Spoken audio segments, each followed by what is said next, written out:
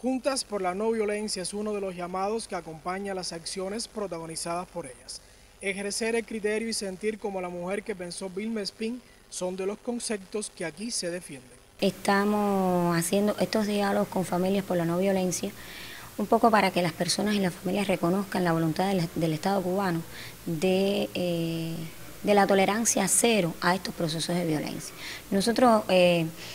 como organización, tenemos que encaminar eh, procesos para que la familia conozca también que existe un decreto presidencial 198, un programa para adelanto de las mujeres, que también es voluntad de la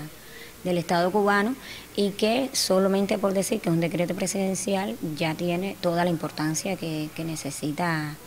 para que las mujeres se sientan dignificadas. Hay una labor pretérita con respecto al tema de la violencia y el tratamiento a la mujer propiamente. Se inició hace en la década de los 2000 con el proyecto Paloma, del cual tenemos eh, varias personas, miembros también del comité asesor que formaban parte del proyecto, pudiéramos estar mencionando a Perla Delgado Valle, a Laura Angulo, y en la actualidad tenemos una iniciativa de desarrollo local que eh, tiene su, sede en eh, la Unión Nacional de Juristas de Cuba, una iniciativa que responde a la cultura jurídica en, en clave de género, herramienta para la no violencia contra las mujeres y las niñas. Voces de mujer que unidas en el reparto Tulipán de Cienfuegos deciden por la cero tolerancia a la violencia familiar y que en una sociedad heteronormativa luchan por ocupar el espacio que por derecho les pertenece y que en el amparo legal encuentran protección. Una mujer que quiera denunciar, quiera romper con el silencio de la violencia, puede acudir a la fiscalía, a los distintos municipios, en cada uno de los municipios de Cienfuegos hay una fiscalía municipal y está la fiscalía provincial que sucede en Punta Gorda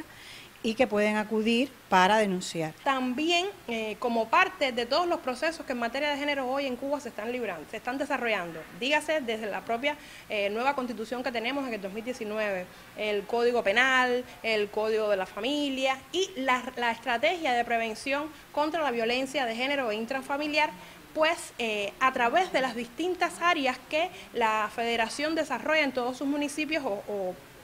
tiene como, como eje desde sus propios consejos comunales, desde sus propios consejos populares, desde las propias casas de orientación a la familia, eh, a la mujer y a la familia, pues eh, tiene una labor también vinculada a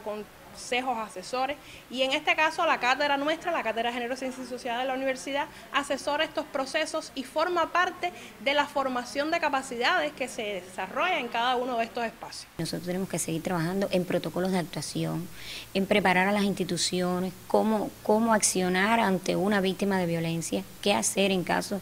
de que nos llegue una víctima de, violencia a una de nuestras instituciones.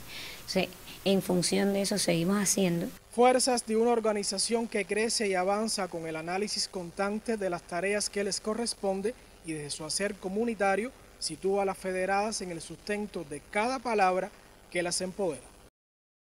Yuniel González Hernández, Notisur.